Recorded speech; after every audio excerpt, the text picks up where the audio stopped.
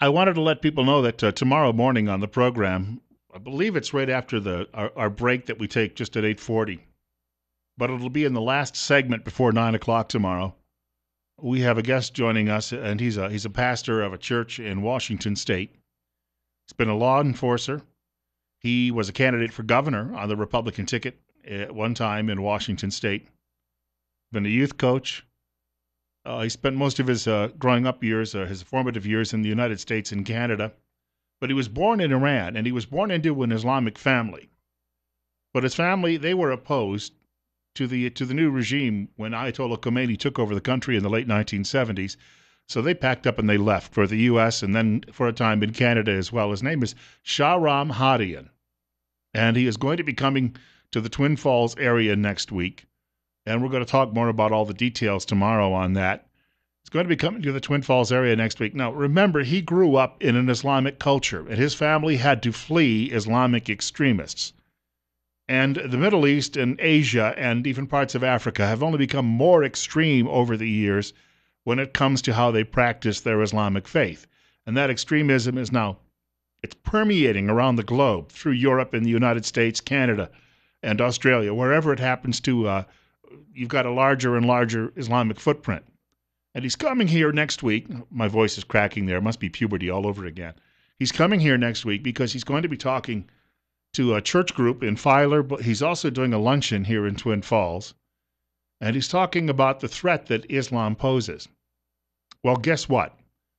There's already a fellow, I think he lives in his mother's basement up in the Boise area, who's already writing about this and uh, and accusing this man of spreading hate. Look, his family had to free Iran or they'd all be dead right now. You want to talk about what real hate is?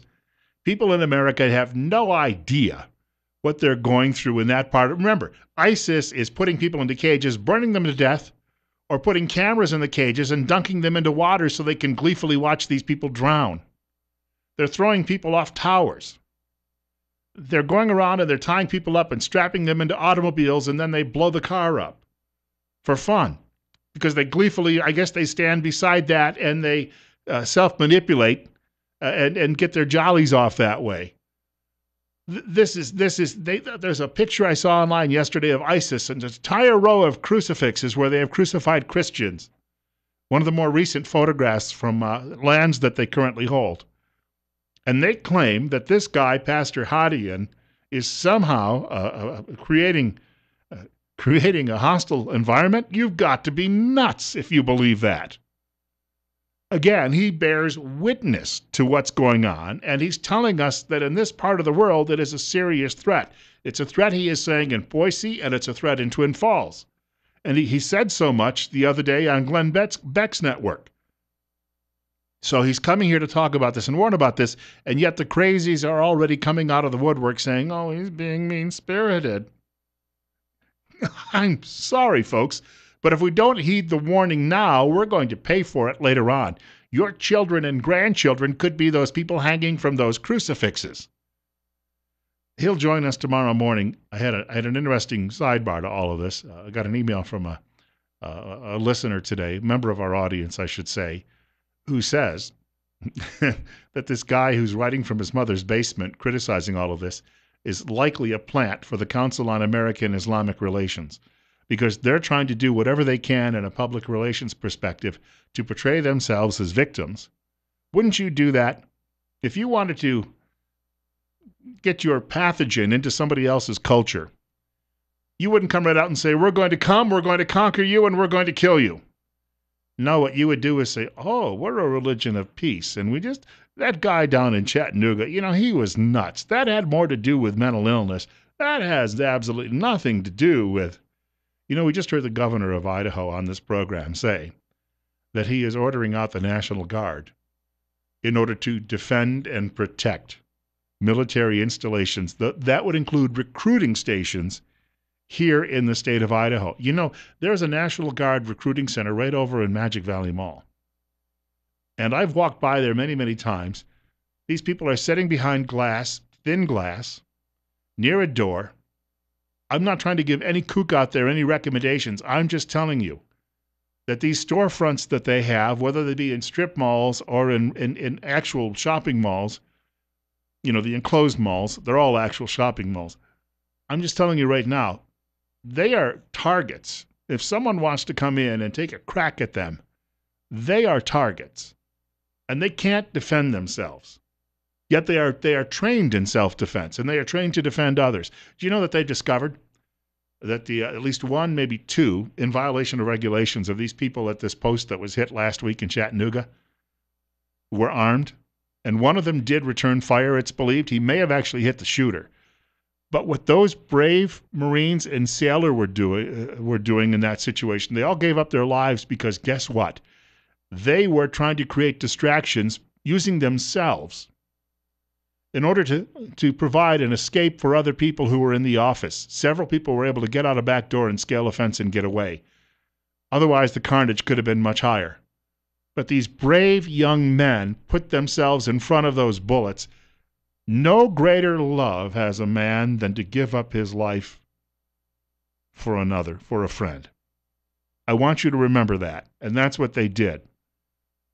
I don't know that well, that's my God speaking. I don't know that the other guy's God has any such phrase.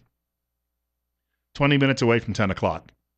69. Bill Colley with you. This is Top Story on News Radio 1310 KLIX. What was it that uh, Ann Coulter said about 10 years ago?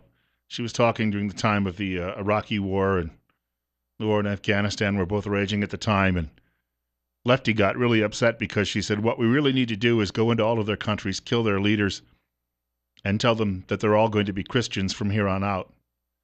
And everyone's, Oh, you can't. Oh, that's so racist and bigoted and mean. And, and, and yet, you know, that's what they would do to all of us. 944, Bill Colley with you on Top Story on News Radio 1310 KLIX and NewsRadio1310.com. You can reach our show today. I like to call it the program, but show if you like. The telephone number is 736 0300. That is 736 0300. And of course, my email address, bill.colley at townsquaremedia.com. That's bill.colley at townsquaremedia.com. And uh, I will uh, I will welcome your telephone calls. Uh, I will I don't care if you're civil or not. I I don't buy into that business that we all have to all go around buffing each other with a powder puff. You're on the air with Bill Colley on News Radio 1310 KLIX and Top Story. Which brings me to my kind of my point. you know, I have a brain. You have a brain. And most of the people that, who are listening have a brain. And I have read a lot of what the, the pros and cons of the refugee center have had to say. And I know a lot of immigrants who have uh, come to this country. I'm a third generation immigrant myself, who have not only come and prospered, but have um, continued to help this country prosper. And I'm, I'm not going where you think I'm going. What I well, have, I hope you get there though before this weekend.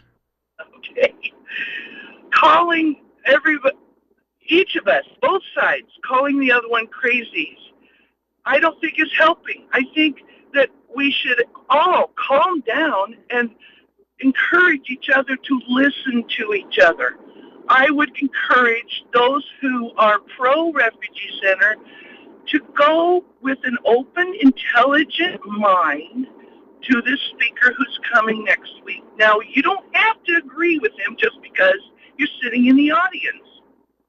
And, I, and on the other side, I would encourage everybody who's against the refugee center bringing in the Syrians to open your mind calmly and intelligently.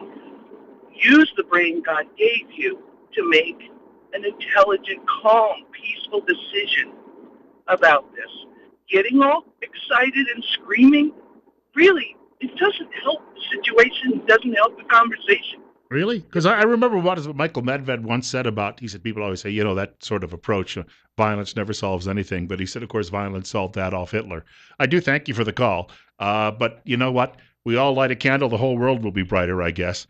Uh, my feeling is on this: if if you get an opportunity, um, you know what? I'll put it this way: I will gladly welcome them as long as after they convert, I'll go even help them put up their Christmas tree, and then we can sit down and have a ham sandwich. There were previous waves of immigrants who came here and wanted to be American. That's not the case with these people, at least for many of them, and that's the danger. You didn't have Italian immigrants coming here and French immigrants and German immigrants saying, Oh, I can't wait until I get inculcated in, in what we're doing and then I can destroy all of this. 947, you're on the air with Bill Colley on Top Story. Uh, thanks, Bill. You kind of started off where I was headed. Uh, okay, let's think about this rationally. Bottom line is the Muslims, Islam are our enemy. And there are good people in that religion.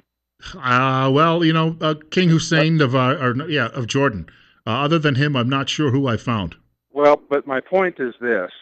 If there are moderates within that religion, they need to stand up for themselves. It is not the job of the United States to take a gamble on these people at the expense of the safety of the United States or American citizen.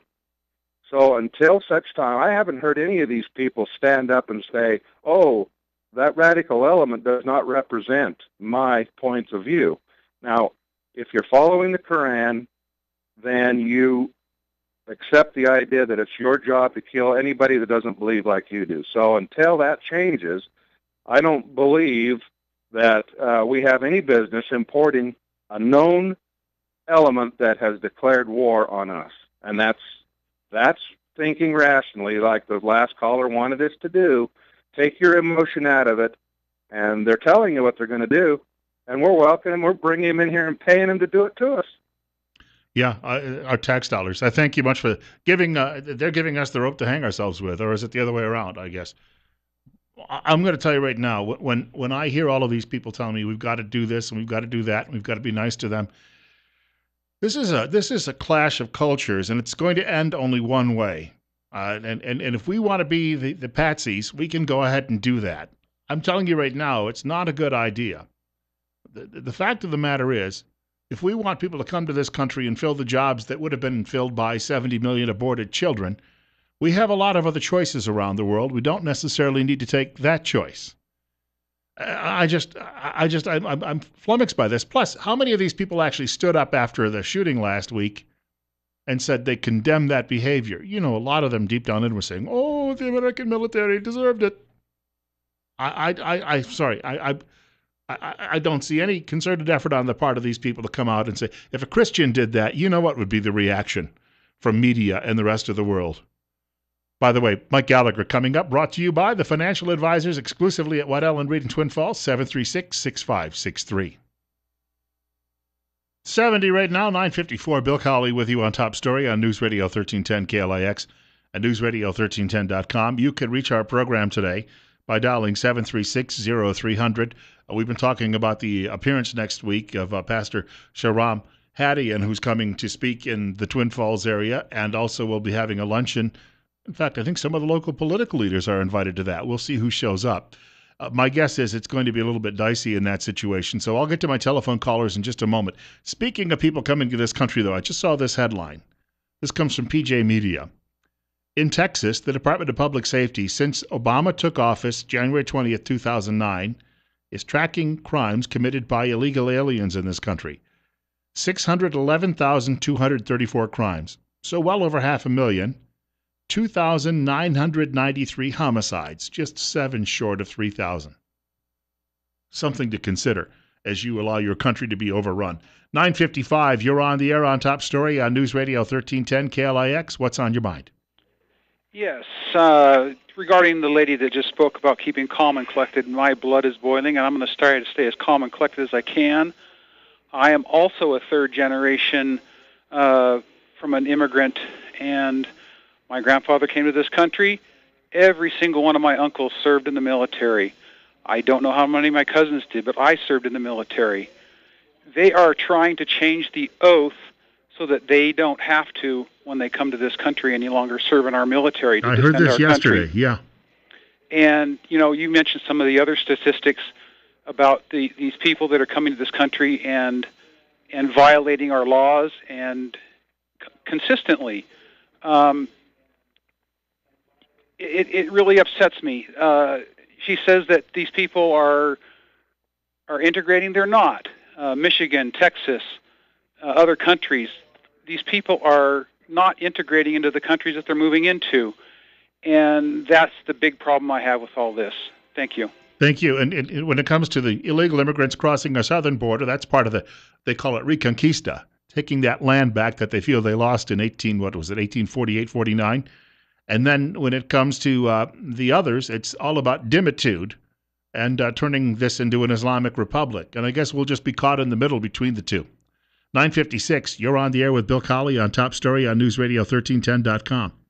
I'd like to offer a different perspective on the whole um, the whole issue. People don't trust our government. That's the real root of the problem. Why would we trust our government to, to vet these people before they bring them in here? The president we have currently doesn't care about the law, much less protecting us from. I, I think he is definitely one of those radicals. He's a plant himself. Thank you for the call. He's actually on his way to visit his home country, uh, his birthplace. 957. Uh, by the way, God willing, the creek don't rise. They will let me do this again tomorrow. Some days I wonder.